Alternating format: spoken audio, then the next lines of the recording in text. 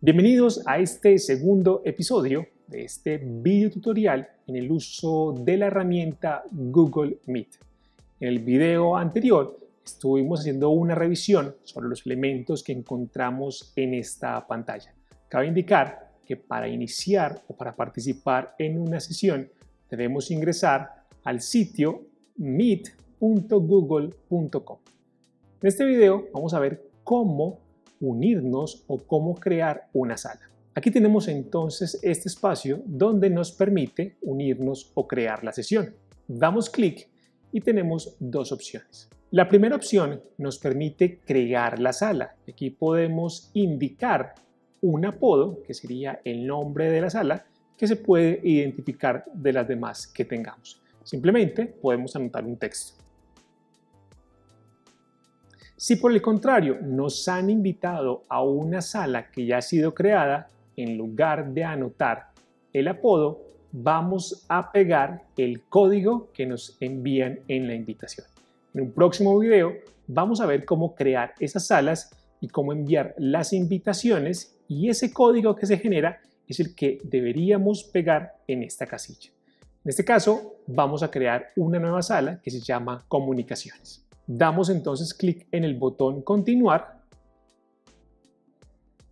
Se abre esta nueva ventana donde estamos viendo una vista previa del video donde podemos activar el micrófono, también desactivarlo y donde podemos activar o desactivar el video.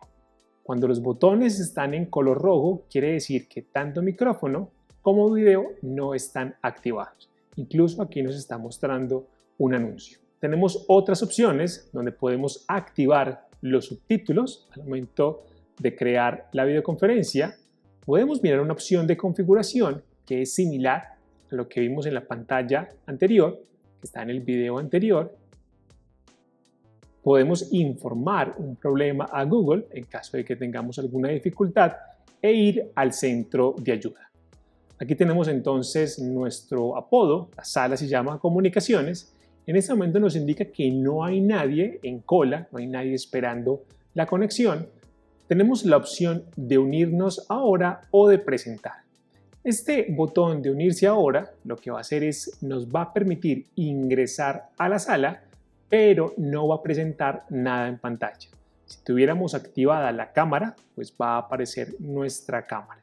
Si damos clic en el botón presentar, lo que va a hacer es que nos va a permitir seleccionar qué ventana del navegador o qué ventana de alguna aplicación que tengamos activa en nuestro computador queremos activar en la videoconferencia.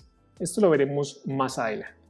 Tenemos entonces también otras opciones que es cómo unirnos a la videoconferencia a través de teléfono.